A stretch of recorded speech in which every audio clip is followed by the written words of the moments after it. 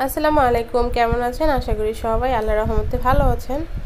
আলহামদুলিল্লাহ, আমি অনেক ভালো আছি। আমার ছাদ বাগানের গাছগুলো একটু খারাপ আছে কারণ বর্তমান যে তাপমাত্রা, এত গরম এত গরম মানে আমরা নিজেরাই মানুষ, আমরা নিজেরাই সহ্য করতে পারতেছি না। তো ভাবুন তো, ছাদের উপরে শুধু আকা, একদম খোলা আকাশের নিচে, এত রোদ্রের মধ্যে এই গাছগুলো কীভাবে ভালো থাকবে? তো এখানে দেখেন আমার এই যে ড্রাগন গাছগুলোর কি অবস্থা হয়েছে। আমার ড্রাগন গাছকে গাছের মধ্যে কিন্তু মাসাল্লাহ অনেক অনেক ড্রাগন ফুল আসছিল। মানে এত পরিমাণ ফুল আসছিল বলার বাহিরে।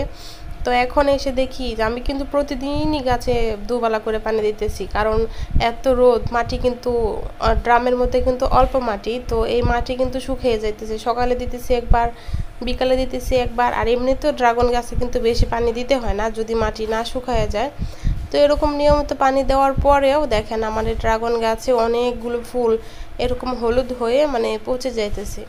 এরকম পচে যাওয়ার আরও কারণ আছে, কারণ হলো গাছে যদি ভিটামিন কম থাকে, গাছের মধ্যে যদি এই এত এত ফুল আসে, এই ফুলগুলো যদি গাছ ধরে রাখতে না পারে, সেই ধরে রাখার যে একটা স্বয়ং সম্পূর্ণ একটা শক্তি লাগে, তো ওটা শক্তি বা ক্ষমতা যেটাই বলেন, ওটা যদি তাদের কম থাকে, ও খাবারের যদি ঘাটতি থাকে যে তার খাবার, সে খাবার খাই প্রতিদিন অল্প পরিমাণ, কিন্তু গাছে ফুল আসছে অনেক। সেই জন্য তার ফুলগুলো ধরে রাখার জন্য তার আরও অনেক পরিমাণ শক্তি লাগবে বা বল লাগবে। তো ওটা তার শরীরে নেই। তো তখন সে কীভাবে এতগুলো ফুল ধরে রাখবে? তো তখন যেটা করবেন, যদি গাছে দেখেন যে কলি আসছে বা ফুল আসছে, তখন এই গাছগুলোর মধ্যে বাহিরের রাসায়নিক সারও আপনারা দিতে পারেন, সেটা অল্প পরিমাণের, কিন্তু জৈব সারটা একটু বেশি দিতে হবে। আমি সবসময় গোবর সারটা একটু বেশি দেই, তাতে আমার ছাদের গাছগুলো সবসময় ভালো থাকে। এবারও ড্রাগন গাছের মধ্যে অনেক ফুল আসছিল, কিন্তু এই ফুলগুলো কিন্তু মূলত এই তাপমাত্রার জন্য কিন্তু লাল হয়ে এরকম হলুদ হয়ে পচে যাইতেছে। আর আর দ্বিতীয় কথা হলো পচে যাওয়ার মধ্যে আরও অনেকগুলো কারণ আছে যে ড্রামে আমরা যদি পরিমাণ মতো যে পর্যাপ্ত পরিমাণ পানি দিই, ওই পানি যদি নিষ্কাশন হওয়ার ড্রেন ড্রেন যেগুলো আমরা করি, ছিদ্র ওগুলো যদি বন্ধ হয়ে যায়, পানি যদি গাছের গোড়ে আটকে যায়, সেখানেও কিন্তু এই ড্রাগন ফুল এরকম লাল হয়ে পচে যেতে পারে। আর ড্রাগন গাছে দেখতে পারবেন কিন্তু কালো কালো যে পিঁপড়ার আক্রমণ, ওইগুলোও যদি বেশি থাকে, তাহলেও কিন্তু এই ফুলগুলো পচে যায়। কারণ আমার ছাদ বাগানে আলহামদুলিল্লাহ এর এখন পর্যন্ত ওরকম পিঁপড়া ওরকম আক্রমণ হয় নাই।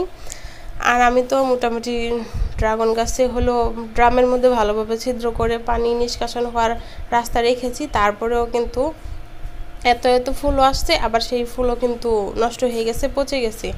তো আলহামদুলিল্লাহ, তারপরেও কিন্তু অনেকগুলো রয়ে গেছে, এগুলো আমি একটুকুনিটা সইতেছি না। কারণ একটা ডালের মধ্যে যদি চার পাঁচটা ফুল আসে, সেখানে পাঁচটা ফুল তো এই ডালটা বহন করতে পারবে না। তো পাঁচটার মধ্যে তিনটা নষ্ট হয়েই যাবে, দুইটা থাকবে। তো এতে নিরাশ হওয়ার কোনো কিছু নেই, আর মন খারাপেরও কিছু নেই, কারণ আলহামদুলিল্লাহ অনেকগুলো ফুল আসছে।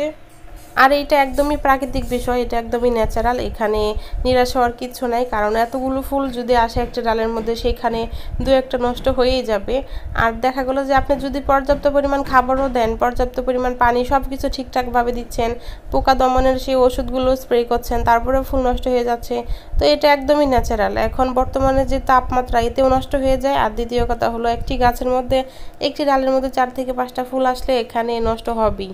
কারণ চারটা ফুল আসে, চারটাতে তো আর ড্রাগন ফল হবে না। চারটা যদি হতে যায়, সেগুলো কিন্তু ড্রাগন ফল সাইজে ছোটো হবে। দেখতেও সুন্দর লাগবে না। তো সেই কারণে যখন দেখবেন যে একটি ডালের মধ্যে অনেকগুলো ফুল আসছে, তো আপনারা চেষ্টা করবেন দুইটা রেখে নিজেরাই বাকিগুলো মানে ফেলে দেওয়ার জন্য। কারণ আলহামদুলিল্লাহ ড্রাগন গাছে যখন ফুল আসে, যদি ভালো গাছ জাতের গাছ হয়, তাহলে কিন্তু প্রত্যেকটা গাছে অনেক অনেক ফুল আসে। আপনারা হয়তো বা আমার আগের ভিডিওতে দেখছেন যে একটি গাছের মধ্যে বিশ থেকে পঁচিশটা ফুল। তো আমি এতগুলো তো রাখিনি। আমি নিজে থেকে কয়েকটা ফেলে দিছি।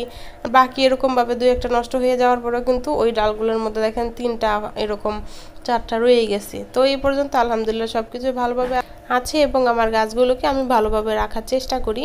তারপরে অনেকগুলো ফুল নষ্ট হয়ে গেছে এবং আলহামদুলিল্লাহ অনেকগুলো রয়ে গেছে, যে পরিমাণ রয়ে গেছে এগুলো যদি ভালোভাবে সঠিক যত্ন নেওয়া হয়, তাহলে এতেই কিন্তু প্রচুর পরিমাণ ড্রাগন ফল আমরা পেতে পারি। আর এরকম করে যদি ড্রাগন গাছ লাগান, যদি ফুলের চাহিদা বেশি আসে, যদি ফুল অনেক বেশি আসে, তো সেখানে নিজেরাও কিছু ফেলে দিবেন বা এরকম নষ্ট হয়ে গেলেও কিন্তু আপনারা ঘাবড়াবেন না, এটা একদমই ন্যাচারাল তো এই হলো আমার ভিডিও যদি ভালো লাগে তাহলে আমার চ্যানেলটি সাবস্ক্রাইব করে পাশে থাকবেন। সবাই ভালো থাকবেন, আল্লাহ হাফিজ।